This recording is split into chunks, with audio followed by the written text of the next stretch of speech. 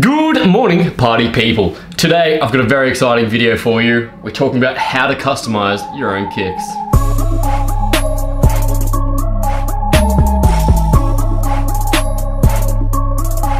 Okay, so the sneaker I've chosen for today's video is the Air Jordan 1. This was the first sneaker I think I ever bought myself from Nike. Always loved this shoe, so it's one I kind of wanted to play with. I've also always wanted it in black and white. I've always had a thing for black and white sneakers, um, so that's what I've done here.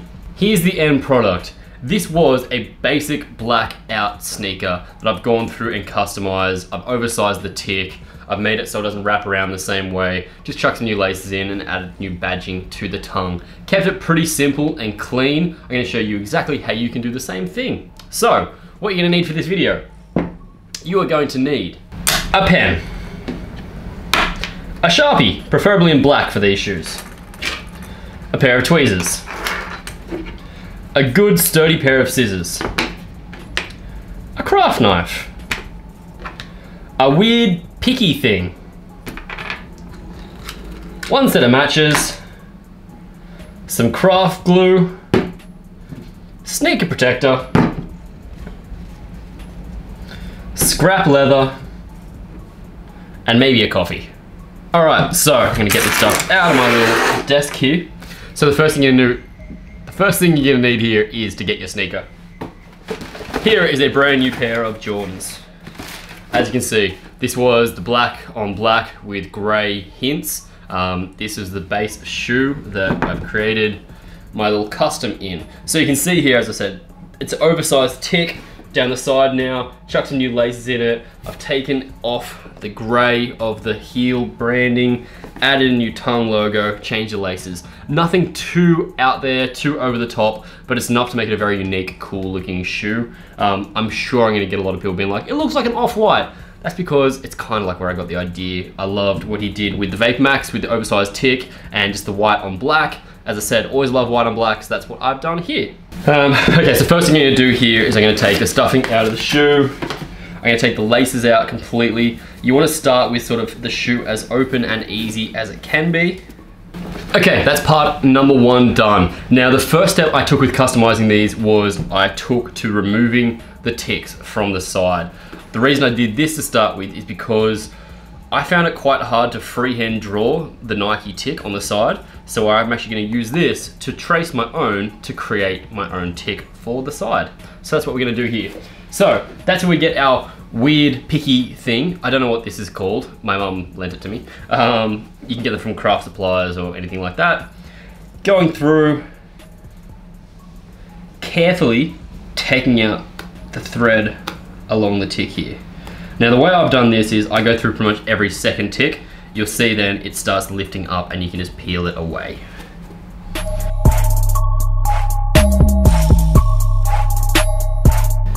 Alright, so as you can see there, I've kind of like cut a thread for a lot of them. Now we can just slide this underneath and start cutting out from underneath.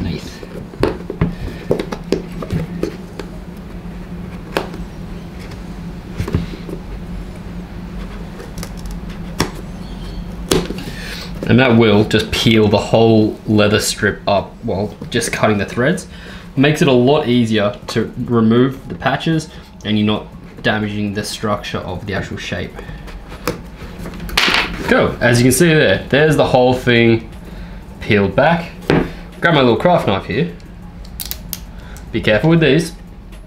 Find the back here and I'm just gonna do a nice even slice as close to the end here as possible and that just peels away. Nice and simple. There is my tick I'm gonna use to create my own custom tick. So I'm gonna put that one aside for now. Next step I'm gonna do here is remove all these threads. That's where the tweezers come in handy. Cool, so as you can see there, that is completely gone now, all the thread is out. There is the little puncture holes from the stitching, that is fine, I'm okay with that, um, because most of the new tick is gonna cover there, and the more you wear these, the more they're gonna wear in anyway, so that's fine onto the other one. All right, so as you can see there, both sides of the ticks are gone. There's the second one laid out. Now I'm gonna leave that one sitting there on the desk. Shoe is done for now. Next thing I'm gonna do is get a piece of paper, any bit of paper, won't matter. I'm gonna lay the tick down grab my handy pen, which is right here, and we're gonna trace around the tick. Now this is what we're gonna use as our template for cutting out the bigger tick. Now what I did last time was I actually just traced it by eye, slightly outside of the tick. So I've gone about four, or five mil outside of the tick here, and just done a rough sketch all the way around the outside, like so. Nothing too fancy. Cool. So, once you're done with that, it's gonna end up looking like this. Here's one I prepared earlier. As you can see there, if I lay it on top there, it is slightly bigger, not a whole heap. Um, that's something I wanted to keep fairly close to the original size, just slightly bigger. And what I've also done towards the end here is I've tapered it off. As I've cut this into a like square end, I wanted to have the actual tick part. So I've added the point to the tick just by tapering it. Done and done. Now, what you're gonna need next, leather. You don't necessarily need leather, you could use fabric, you could use a nylon, you can use a cotton, whatever you want. Um, I wanted to have this as like a kind of premium looking material, so I use this like textured white leather. It's just scrap leather I got from a craft supply store. Next thing I'm gonna do is flip it onto the other side. Don't draw on the side you're gonna have facing up. Down the other side, as you can see there, there is a tick I've just cut out a minute ago, but I'm gonna show you how I did that. Get my pen, gonna hold the tick down, like so. And gonna trace around it. Again, you don't need to be super clean as this is going on the back of the, the material. The important thing here though is to keep your positioning the whole way through. Now you could tape this down if you wanted to. Um, I'm just doing this by hand because that's kind of how I prefer to work, but you do what works for you. And there you can see. That's my tick on the leather.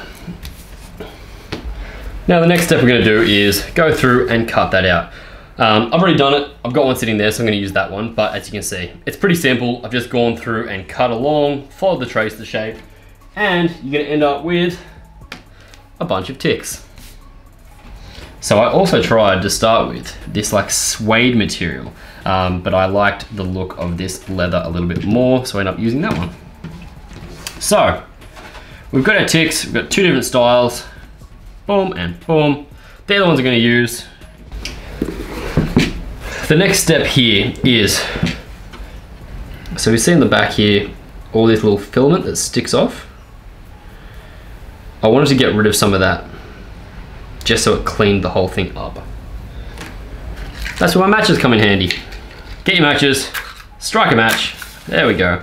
Now, I'm lightly just gonna hold this over the back there and it's actually just gonna burn away those extra little bits. Nothing too much. I'm not trying to burn the whole back. Just get it. So you can see there, it neatens it up and it makes the, the frayed edges go away. Okay, so now we've got both our white ticks ready to replace. As you can see here, it is a bigger, more oversized version of the tick, exactly what I wanted to go for. Now, to line it up, because this is a bigger tick, you're gonna find that on the shoe, if you try and put it where you had it before, it's not gonna sit properly. It's gonna sit up a bit too high. I wanna have this slightly further forwards. So, still gonna run it up along this paneling here, but the way I've measured this is I've got it sitting down pretty much to the bottom of the shoe, and about two to three mil in from the end using my shoe I had there, right down the bottom, two or three mil in. Um, now you can see if you look carefully the dots, the, the, perforation from the stitching before, that's fine. I'm happy to leave them there. As I said, the more this shoe gets worn in, the more that will disappear. Now, this is where the craft glue comes in. I tested this stuff out before I used it. Um, you wanna have something that bonds fabric, paper, leather, plastics, glass, and dries clear. Drying clear is very important here because you don't want to have um, like a colored residue left over if it spills out at all. Now, I'm to get another bit of scrap leather here. That's giving my little base to stick this on. And the way I did this was always start small. That's my little secret for this one. Glue does spread quite easily. So I'm going to put a blob in the middle there And then we're gonna do a fine blob running right down the tick. Bit more there. And then another really fine bit along the top. Now you notice I haven't gone right to the end. The reason for that is I need somewhere to hold it when I'm sticking it on. Now I just use this and spread it out. Alternatively, if you don't want to use the lid of the glue, you can use a bit of the matchstick you had. I found this helped quite a bit in order to spread the glue out to the edges. It is quite a like um, thick consistency, quite gluggy. So it looks like it's not spreading well, but trust me, it is. And it does dry quite fast. So putting it on, spraying it out. No need to go crazy. It will cover once you press it down. That is that bit done. So make sure your shoe is clean. Lay it down. Now for the fiddly part. I'm gonna hold it by the tip and just place it down.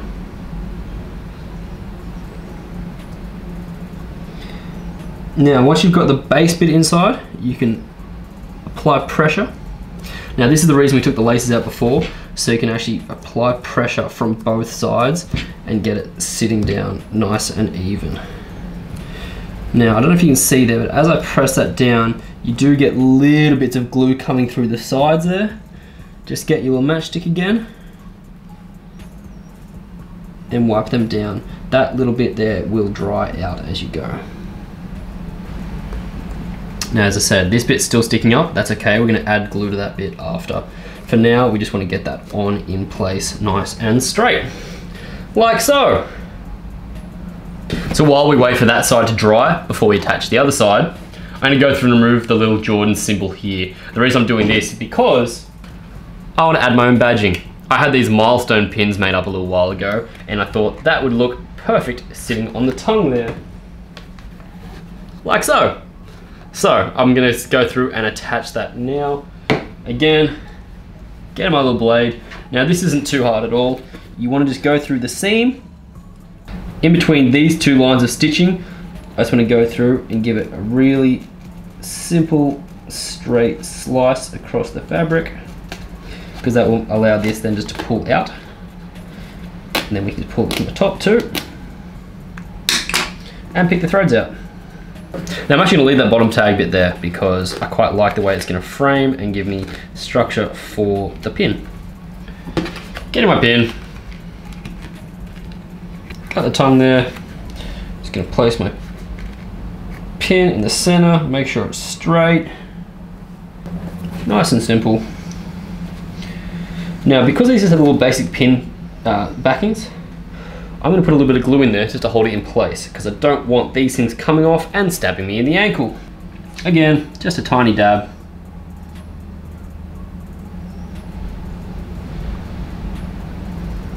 That's enough. Now I'm just going to press and hold that in place. Go. Now we can come back and see here this side is stuck on. I'll leave that bit to the end. I'm gonna go through and do the other side now.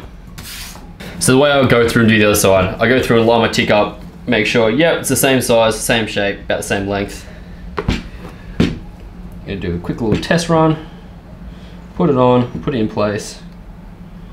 Yep, looking good, sitting neat, great, good to go. Brush it down, lay it down. As you can see here, I've gone over the pen there, I was much, much less smooth on this side. That's okay. As you can see, because it does dry on quite clear, that'll just scratch off. Wipe my hands down the excess glue, hand through, and then we can press it down. Alright, so that's both sides glued down. So the next step I'm gonna do is go back to this end here, peel this bit back up, get my little stick of glue, I'm going to put a bit on the patch here. And I'm actually going to use just the stick to go through and paste down the end here. Okay, so as you can see there, you've got these little bits around where the glue has dried. Now, you can go through and scrape that off, which I'm gonna do, or alternatively, you can actually get your black Sharpie and go through and trace over it. Because it is a matte finish, It's gonna cover up those little bits so you don't notice them as much. As you wear these, they will wear in, so it won't be as much of a problem anyway, but just gonna get rid of those details there. Up around the heel. Same on the other side. Now the next thing we're gonna do while we're gonna Sharpie out is trace over our Jordan logo. Now as it is gray and the rest of the shoe is black and white, I just blacked it out, made it like a black gloss. So Sharpie's perfect for this. Nice and simple. Just tracing over each of the bits with the black. Alright, as you can see, now blacked out the Jordan logo. The last thing I want to do to these is add in the laces. Now I bought this pair of slightly off-white colored laces, off-white the color, not the brand, um, which match perfectly in with my tick. So I'm going to go through and lace these up. How you lace your shoes is entirely on you. I just like to do the basic crossover and down into method. Fun fact while I'm doing this is when I was from like 15, 14, 15 up to the age of 21, I worked in a surf shop and I used to be very good at selling shoes and I used to lace shoes all day, every day, and I got really good at shoe doing shoelaces. It's not a brag. I'm not bragging about being good at shoelaces. I'm saying I worked retail for a long time and got experience. That's it. That's your custom pair of kicks. So, the beauty with this is you can make these as neat as rough as you like. This is your pair of shoes, one of one, entirely your own. I think that's the beauty of customization and doing things yourself. It is your thing. So don't feel like you need to do anything just because someone else wants you to do it. It needs to be a certain style. You do what you want to do. I like that this tick is not perfectly perfect. I like it's a bit rough. Um, I like it has that texture on it. I think they look great. Where are you? Should we go shoot them? We should go shoot them, yeah. Alright, sure. I'm gonna try them on, show you how they look on foot. Let's do it in three, two, one, one, go.